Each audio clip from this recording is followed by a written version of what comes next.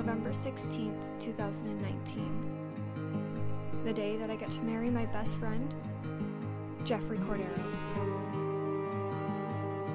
I love you so much, and I'm so excited to see you in just a couple of hours.